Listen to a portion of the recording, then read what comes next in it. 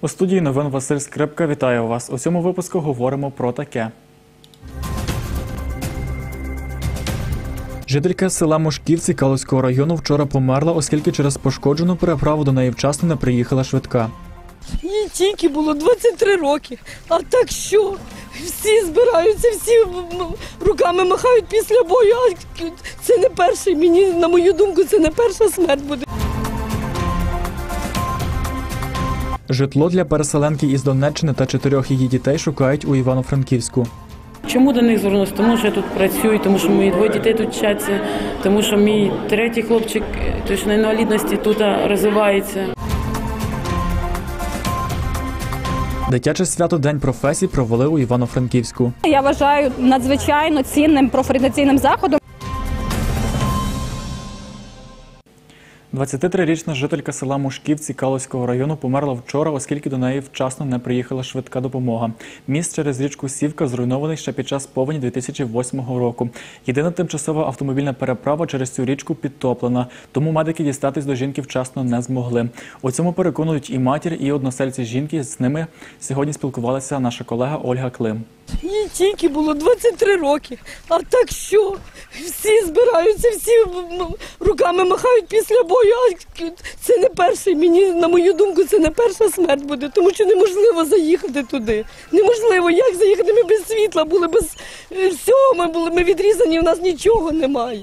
І життя обірвалося моєї дитини, бо як було б вчасно приїхала швидка, було б все на місці. Житель села Мошківці, сусід померлої Володимир Пасєка, бачив, коли дівчині стало погано. Щоб доставити її до швидкої, каже, жителі самостійно несли її через дерев'яну переправу. Викликали тут медсестру, знайшли уколи, викликали колишню медсестру, яка вона зараз на пенсії, вона вела уколи, потім зв'язалися з амбулаторією, приїхали люди звідтіля. Е, Потім визвали швидку, але що швидка приїхала сюди до, до моста, а далі не було що. Практично машини ношів, на ношах винести не можна. І машину зношену людину не, не поставиш, бо машина маленька. І Ми на покривалі запхали її з куцюрблину, все ну, отак перевернути, як могли, так і впхали, розумієте. Ну і просто привезли сюди, тут на мості вже несли, е, піднесли ноші, і ми вже несли на ношах. Е, е, Ротом і носом пішла кров. Ну і тут ми поставили у швидку. За словами головного лікаря станції швидкої та невідкладної допомоги Василя Романюка, медики надавали хворій усю необхідну допомогу. Бригада приїхала 13-18 виїхала, е, була там, доїхала до моста, до, ці- до річки, і там була тільки пішохідна кладка. Е, Бригада перейшла пішки через е, кладку, а там чекав бус, уже е, приватний бус, чи це з родини, чи це знайомих, я вже так кажу достеменно невідомо. І доставили до, до самої до хворої. Хвору оглянули, хвора надавали допомогу. Рішення було прийнято госпіталізовувати. Було погіршення стану. Робили реаніма... Наступила клінічна смерть. При транспортуванні всі реанімаційні заходи, все, що могли, ми робили всю, е, всю дорогу. Е, При транспортуванні і в 14.32 е, зафіксували смерть. Через цю переправу люди ходять по кілька разів на день. Своїх трьох дітей жителька села Мошківці Сніжана Грицак через міст боїться відпускати самих. За скільки років кладка руйнується, перегниває, а діти маленькі, потрібно їх на даний час переводити за руки і так. Тому що е, поручня падають, перегнивають, а йдуть діти, буває, що їх сусідніх нас сіл теж ходять в садик до школи і можуть, щоб для безпеки повинна весь час старша людина йти з ними, щоб їх перевезти. Пару раз рано ведемо, обід зустрічаємо перед вечором і так далі, бо в садик водимо і до школи. Міст у селі повінь зруйнувала ще у 2008-му. У 2009-му його почали відновлювати, але будівництво зупинили через нестачу грошей, розповідає сільська голова Оксана Галка. Нижче по течії є тимчасовий міст для проїзду автотранспорту, проте його пошкодила вода. Вчора, каже Оксана Галка, зібрали звернення та підписи громадян до влади. Фірма, яка була підрядником побудови моста на річці Сівка, е, ми їй вдячні. Буквально за 6 місяців збудували те, що ви бачили. Потім грошей не стало і е, був покинутий цей недобудований міст. Наше звернення е, направлено окремо до президента і окремо до е, депутатів Верховної Ради. Якщо вже дзвонили з кабінету президента, значить вони нас почули. Люди хочуть, вимагають не тільки добудови тимчасового переїзду і кладочки, вони хочуть завершення моста. Вартість ціна питання 40 мільйонів. Голова Калузької районної державної адміністрації Іван Данів каже, грошей на добудову моста немає ні у районному, ні в обласному бюджетах. В цінах 2008 року залишкова вартість добудови моста 21 мільйон.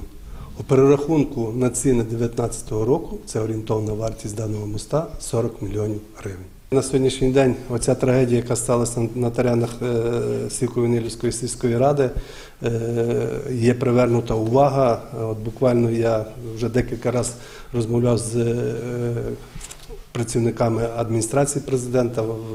Значить, президент я так побачив і почув з цих всіх розмов, що зацікавився цим об'єктом і має намір допомогти і сім'ї, і добудові даного моста. І оскільки ми побачимо тільки кошти, якщо будуть кошти спрямовані з державного, е, з державного бюджету, будуть кошти сформовані, значить і тоді буде робитися коригування даного проекту, тоді буде робитися експертиза, аж тоді ми можемо співставити одно з другим і побачити, чи там були зловживання чи ні. За словами директора департаменту будівництва житлово-комунального господарства, містобудування та архітектури облдержадміністрації Володимира Рачкевича на Прикарпатті є більше 20 мостів, які не добудували від 2009 року. Всі об'єкти, які мала служба 2008 року, вони будувалися і відновлювалися, почали відновлюватися в 2009 році. Після того різко пропало все фінансування по цих об'єктах до сьогоднішнього дня. І всі об'єкти, які носять е, назву відновлення після повені 2008 року, стоять. Почалися тільки два об'єкти відновлюватися. Ольга Клим, Андрій Шустикевич, ЮА Карпати. У місті Івано-Франківську шукатимуть житло для Алли Саржевської та її чотирьох дітей, які п'ять років тому переїхали сюди із Донеччини. Про це сьогодні сказав перший заступник міського голови Івано-Франківська Микола Вітенко. Докладніше Ірина Андріїв. Сім'я Саржевських приїхала на Прикарпаття з Донеччини. Спочатку жили у одногрупниць жінки, а тепер у Березівці Тисменницького району. Та нещодавно приїхав власник будинку, якому також немає де жити. Тому сім'я має переселитись до 20 червня. Хочеться залишитись, бо адаптувався. Це було трошки важко, бо спочатку в мене, ну, типу, був дуже сильно говорив по-російськи, і, типу, мало хто зі мною хотів спілкуватись. А зараз вже навчився, і тепер не хочеться звідси їхати, бо ну, звик. Я би хотів би просто будинок, щоб ми з нього не виїжджали. Бо, ну, бо дуже важко переїжджати з місця на місце. Після виходу сюжету з'явилися люди, які готові допомогти родині. Хатина на дві кімнати, стіни і комора. О, але окремий номер 100. Ну, але якщо то четверо дітей, то буде замало, бо тут 31 квадратний метр. Грабець Богородчанський район. Ну яка владна основа? Ну які, ну, ну які гроші можна брати з людей? Жінка може зі мною зв'язатися, може подивитися. То було восьмеро дітей в мене. Я розумію, як, як це жити. У селах Тисменницького району вільних будинків немає, повідомили в управлінні соцзахисту. Сьогодні Алла Саржевська йде на зустріч із міським головою Івано-Франківська. Чому до них звернулася? Тому що я тут працюю, тому що мої двоє дітей тут вчаться, тому що мій третій хлопчик точно інвалідності тут розвивається. І просто все залишить. Це буде дуже боляче. Якщо все залишить, тоді я вже ніколи не зможу так встати на ногу, як я є. В останній момент секретар міського голови повідомила, що Руслану Марцінківу довелося поїхати, а прийматиме їх перший заступник Микола Вітенко. За його словами, в загальній черзі на житло у місті перебуває 8 тисяч людей. З них у першочерговій 1800. В одних людей більш критична ситуація, в інших менш критичніша. Якщо говорити про вільні приміщення, так, то в нас станом на зараз фактично три кімнати є в гуртожитках. Власне, в контексті цієї людини, оскільки дійсно в неї досить таки непроста ситуація, так, ми розуміємо це, ми зараз будемо шукати юридичні механізми, щоб оцю кімнатку гуртожитку спробувати їм їй надати. Ми готові надати тимчасове для відселенців. Тобто у нас є три кімнати готелю Бандештат. Ірина Андріїв, Олег Головашкін, ЮА Карпати. На Прикарпатті залишаються підтопленими 117 домогосподарств. Про це сьогодні повідомила речниця управління з надзвичайних ситуацій в області Ірина Луцик. За її словами, після вчорашньої негоди найбільше підтопило у Тлумацькому та Городенківському районах. За минулу добу підрозділами управління ДСНС в області здійснено 18 виїздів для надання допомоги мешканцям внаслідок ліквідації негоди. Е, В основному найскладніша ситуація спостерігалася на території Тлумацького і Городенківського районів. Залучено було 78 чоловік особового складу на 20 одиницях техніки, також мотопомпи та човни. На території якраз Тлумацького Городенківського району рятувальники надавали допомогу людям, проводилася евакуація людей, зокрема 15 чоловік, з них двох дітей, тобто перевозили з підтоплених житлових будинків, е, також подвір'я в безпечні місця. Батьки вихованців франківського дитсадка Теремок, що на вулиці Шевченка, сьогодні прийшли на прийом до міського голови Руслана Марцінківа. Вони не хочуть, аби заклад закривали на ремонт і вимагають від міського голови письмових гарантій. Цей садок для дітей з легеневими захворюваннями. Його відвідує 122 вихованців. Оксана Василик розповість більше. На прийомі сьогодні замість міського голови Руслана Марцінківа був його перший заступник Микола Вітенко. Відсутність Руслана Марцінківа не сподобалася батькам вихованців дитсадка. Коли приходить виконавча служба серед дня, коли дітки навчаються в дитячому садку, коли перебувають, вони приходять запечатувати садок. Як? Чому це не повідомлялося? Чому це під час навчального а, року відбувається? Чому це там не літом відбувається? І в нас виникло питання до пана мера, до Руслана Романовича. Чому він не спілкується з батьками? Чому він нас не інформує?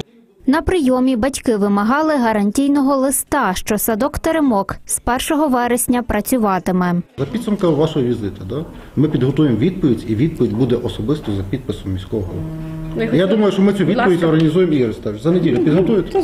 Будете мати гарантійний лист чи відповідь, чи як за підписом міського голови. написати. Наразі у дитсадку встановили сигналізацію та полагодили горище. На це, за словами директора міського департаменту освіти і науки Ігоря Максимчука, витратили близько 140 тисяч гривень. Коли ця документація ми отримаємо на руки, ми почнемо заміну системи опалення даного дошкільного закладу. Зараз там пічне опалення газове, воно буде змінене на е, електричне водяне опалення. Всі інші приписи, які нам приписувала інспекція, ми виконали на сьогоднішній день. Нагадаю, 6 травня батьки зустрілися з директором міського департаменту освіти, щоб дізнатися, чи закриватимуть дитячий садок Теремок. 16 травня в Івано-Франківському окружному адміністративному суді перенесли розгляд справи щодо дитячого садка Теремок через відсутність судді. Перед засіданням біля суду зібралися представники колективу садка та батьки дошкільнят. Вони були проти закриття закладу. Оксана Василик, Роман Булелик, ЮА Карпати. Дитяче свято День професій провели сьогодні у Івано-Франківську. В університеті короля Данила презентували 30 спеціальностей. Під час заходу діти виконували справжню дорослу роботу. Як це було, бачила моя колега Каріна Борисевич. Юрій Павлюк спробував себе у ролі боксера, проте мріє працювати архітектором. Хлопець каже, що йому сподобалося на святі. Я гарно вчу математику, і він мені подобається, бо я можу конструювати різні будинки. Лейтенант поліції Дмитро Гринів тішиться успіхами своїх учнів. каже, що діти вчаться швидко. Цьогоріч на святі вперше представляє свою професію. Мені подобається, що так багато дітей прийшло зацікавлених в роботі поліції і в загальному, які розвиваються, які хочуть щось дізнатися про цю роботу. І вони також підходять, запитують, е, для чого ми працюємо, як ми працюємо, якими методами, що ми робимо, яке в нас спорядження є.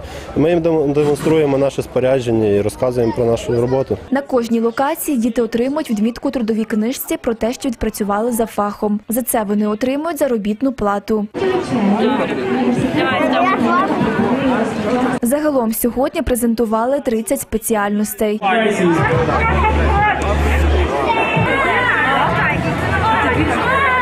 Співорганізаторка Наталія Григорська каже, що такий досвід потрібен для молодого покоління. День професії від університету Короля Данила я вважаю надзвичайно цінним профорієнтаційним заходом, адже е, ми бачимо в нас в університеті безпосередньо приходять студенти, визначаються з професією, а потім дуже розчаровуються, тому що вони не очікували, що вони мають цим займатися. Тому, коли діти намагаються е, поринути в цю професію е, такого малого віку, попробувати практично на ощуп, наприклад, будівельники побудувати, художники намалювати, тоді вони легше, легше визначаються з професією і немає оцього розчарування в, в вже в дорослому віці, що вони обрали не ту професію. Дитяче свято День професії проводять вже в четверте. Каріна Борисевич, Ігор Попик, ЮА Карпати. Змагання трекових роботів Bluetooth Робокар відбулися сьогодні на базі університету короля Данила. Участь в них взяли 19 команд із 12 шкіл міста. Більше в сюжеті Наталії Олексієнко. Участь у змаганнях беруть близько півсотні школярів. Переможці отримують цінні призи від організаторів. Співорганізатор змагань Василь Боднарчук розповідає, що машинки для перегонів учасники збирали та програмували заздалегідь. Це Bluetooth машинки, вони керують ними з телефону. Е, і все просто. Тобто є два рівня. Перший, е, хто проїде швидше, другий, хто запрограмує, запрограмує е, машинку, тобто перепрограмує. Ось тут у нас Bluetooth. Він під'єднаний, під'єднаний до плати. Е, Так же само у нас йде тут живлення. Живлення, е, червоний провід, він приєднаний до кнопки. Другий приєднаний е, ось сюди. 11-річний Андрій Шарук показує свою машинку, яка керується блютузом. Скаржиться на те, що часто відмовляє мотор. Хлопець зібрав її сам за місяць. Каже, програмуванням робототехніки займається вже рік. Я ось цей сам зробив, е, ще е, чуть-чуть допоміг е, своїм друзям і ще один раз половину зробив роботу. Важкіше його зробити, бо постійно виявляються якісь помилки, і треба якомога детальніше до цього всього відноситись і акуратніше це все робити. Світлана Саноцька, керівник гуртка, в який ходить хлопець, каже, що знання, які діти отримують на заняттях, можна застосовувати в повсякденному житті, наприклад, ремонтувати побутову техніку. Наш гурток є 12-15 діток, так дітки коливаються, е, тому що одним це подобається, так вони розвиваються в цьому, інші розуміють, що програмування це не їхнє, і це теж дуже добре. Так діти мають можливість зрозуміти, що їм потрібно в цьому житті. До слова, 23-25 травня в Одесі відбувся фінал всеукраїнської студентської олімпіади з навчальної дисципліни робототехніка. Участь брали понад 60 студентів з усієї України. Команда студентів Прикарпатського національного університету впевнено здобула перемогу. Наталія Олексієнко, Юрій Надольський, ЮА Карпати.